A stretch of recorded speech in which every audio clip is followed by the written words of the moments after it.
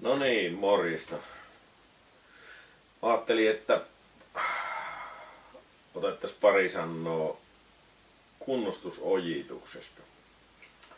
Sitä itse asiassa taisi joku ehdotteekin, kun tuossa vuodenvaihteessa pyytelin ehdotuksia videoista, niin, niin, niin. käydään sitä nyt sitten vähän läpi.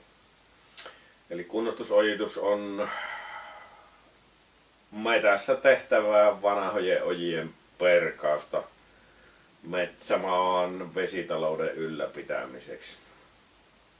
Uudis, uudisojitustahan ei käytännössä tehdä ollenkaan. Jonkun verran tehdään niin sanottua täydennysojitusta.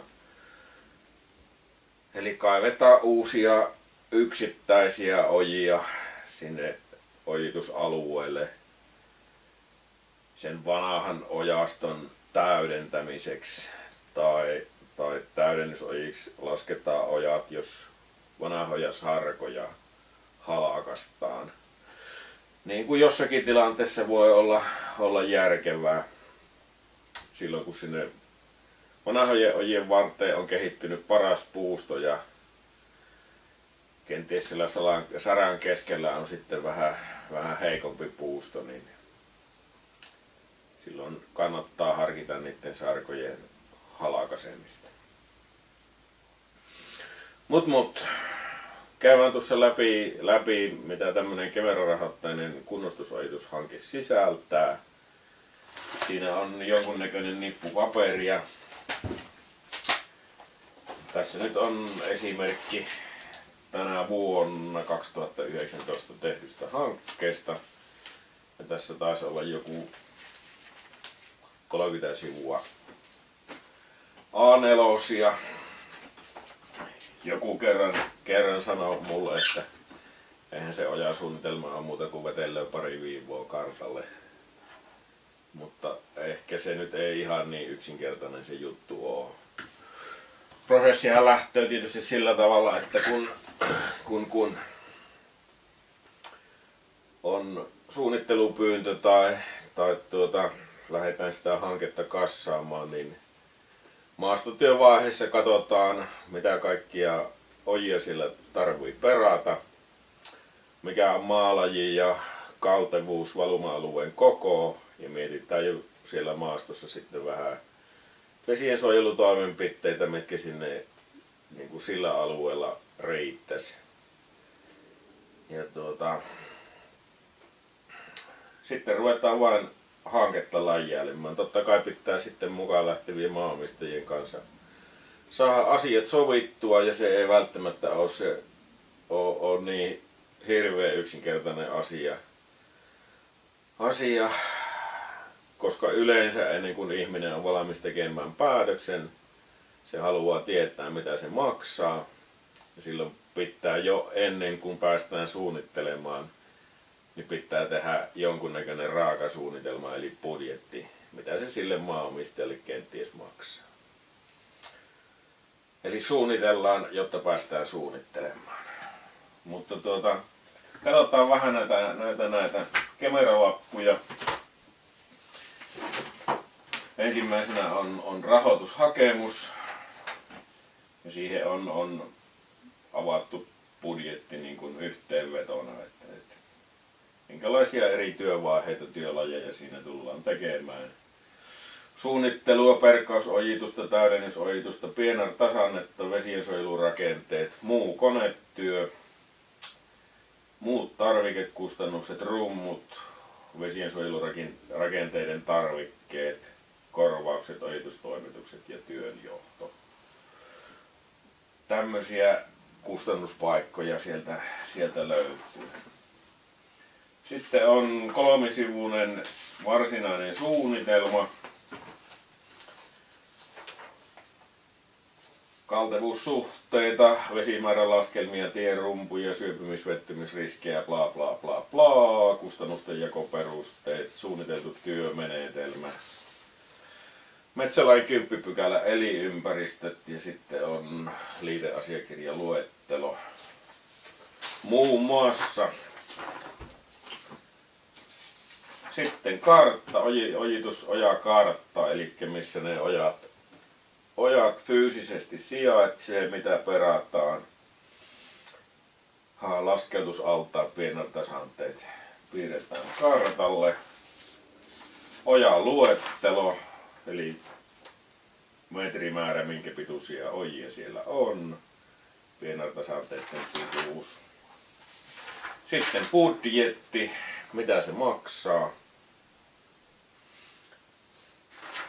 Sitten on budjetti räjäytettynä kiinteistökohtaisesti. Eli jokainen kustannuspaikka, laji jaetaan vielä eri, eri kiinteistöille. Siitä pitää olla lanketit. Sitten ojitussopimukset. Jokaisen maanomistajan kanssa tehdään ojitussopimus. Eli periaatteet, millä tavalla se hanke etenee. Siinä on läjää niitä. Sitten löytyy valtakirjat, eli Kemera rahaa hakemista varten valtakirja ja sen hankkeen hallinnointia varten. Sitten pitää olla, olla tuota, ojitusluvat semmoisilta rajanaapureilta, jotka ei osallistu hankkeeseen, plus alapuolisen vesistön tai purojen maaomistajilta. Niin, niin. Byrokratia vaatii ojitusluvan, eli kirjallisen suostumuksen siihen, että niitä vesiä saadaan laskea kenties ojaa pitkin, jota, jota pitkin ne veet on jo kulkenut sata vuotta, mutta eläköön hallinto ja byrokratia. Sitten elykeskukselta ennen kuin Kemera-rahaa myönnetään tai tulee päätöstä, niin pitää olla elykeskuksen suostumus ja elykeskukselle lähtee tämmöinen nelisivuinen metsäojitus ilmoitus, jossa nyt vesien suojelusuunnitelma on ehkä se isoin asia, millä tavalla se hoidetaan. Ne tyypillisimmät vesien suojelutoimenpiteet, joilla, joilla sitä kiintoaineslaskeumaa koitetaan hanskata, niin on, on lietekuopat ojien päässä, pitkissä ojissa välilläkin, sitten ehkä se tyypillisi on, on laskeutusallas. Eli valuma-alueen koon mukaan kaivetaan altaita ja ideana on tietysti, että sen altaan matkalla se veden liike hidastuu niin paljon, että kiintoaine se ehtii, ehtii valua pohjaan. Ja semmoinen karkea nyrkkisääntö on, että jos sinä puotat roskan siellä altaan toisessa päässä, niin se altaa, allas pitäisi olla niin iso, että se viipymä on tunti ennen kuin se roska on siellä toisessa päässä. Silloin, silloin sillä on oikeasti sillä altaalla on sitä kiintoaineista poistava vaikutus. Kenties muita vesiensuojelutoimenpiteitä, joita joskus rakennellaan, niin on pintavaloituskenttä, Niitä on muutama tullut tehtyä isommilla ojitusalueilla. Ja tuota, sitten on pohjapato. Havutuksia myö ei ole tehty. Kaivukatkoja tehdään jonkun verran silloin, kun kaltevuus on riittävä. Kaivukatko on, on erittäin hyvä, mutta monesti ne, ne, ne kunnostusojitukset on tulla soella, niin siellä ei, ei sitä kaltevuutta vaan niin kuin ole riittävästi. Tehdään niitä kaivukatkoja, mutta kaivukatko on, on erittäin hyvä ja toimiva. Ja tuota, vesiensuojelusta ylipäätään se probleema ehkä mikä on, niin on se, että laskeutusaltaista tehdään liian pieniä.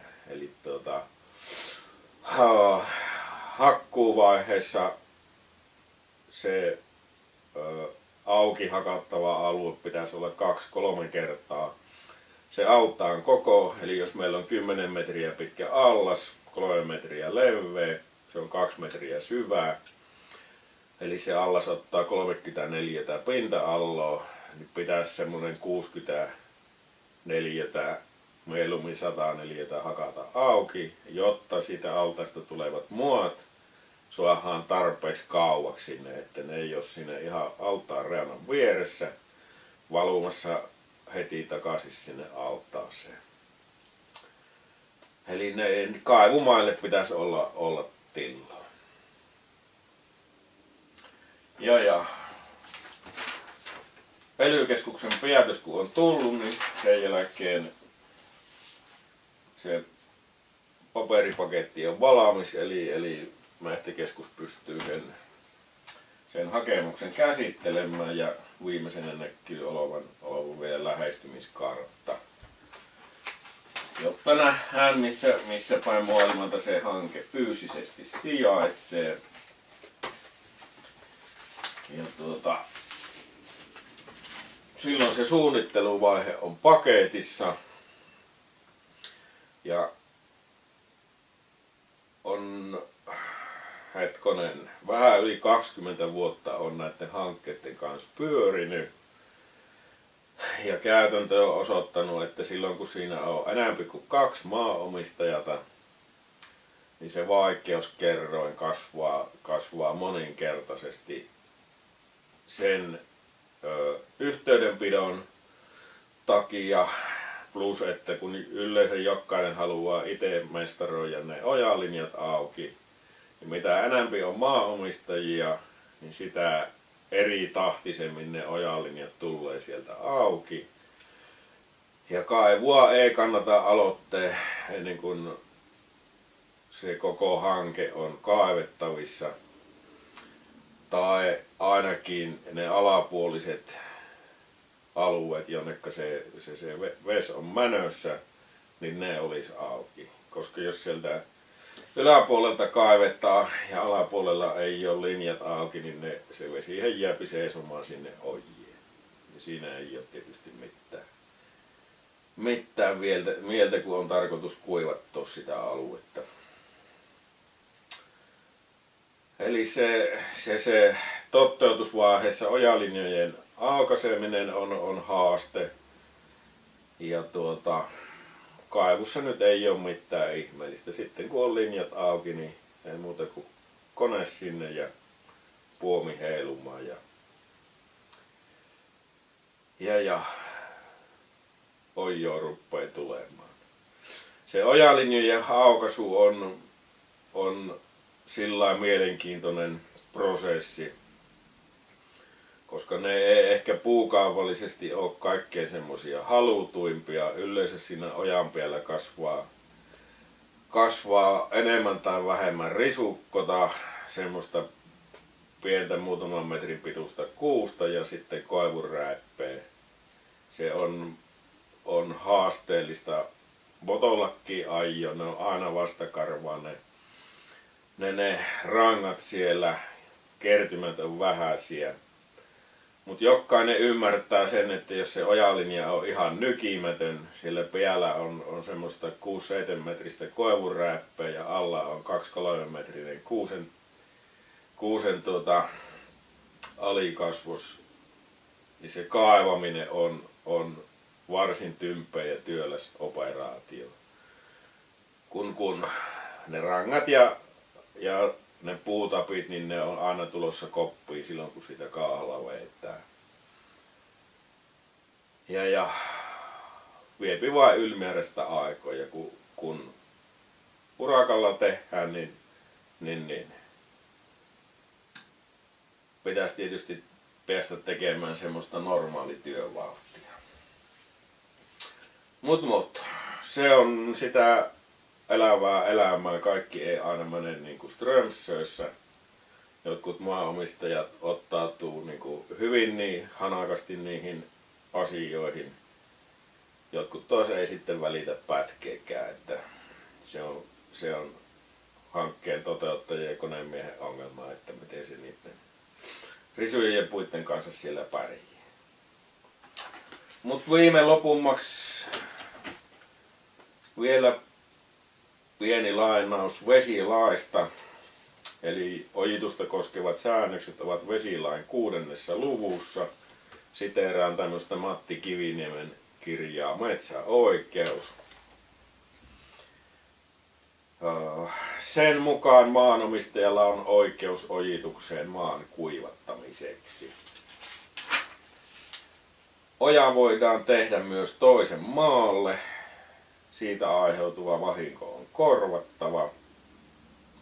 Myös yhteisestä ojituksesta hyötyä saava on oikeutettu korvaukseen. Jos ojitus tuottaa hyötyä toisenkin maalle, on maanomistaja vaadittaessa velvollinen osallistumaan kustannuksiin. Eli jos, jos ne asiat menee monimutkaiseksi, niin sitten on olemassa semmoinen operatio niin kuin ojitustoimitus, jolloin viranomaiset niin kuin määrittelee ne pelisäännöt, mitä tehdään. Myö ei semmoisia lähetä, eikä ole tarvinnut ikinä lähteä. Erittäin hyvin on sopimalla päästy, päästy kaikkia hyödyttävään lopputulokseen.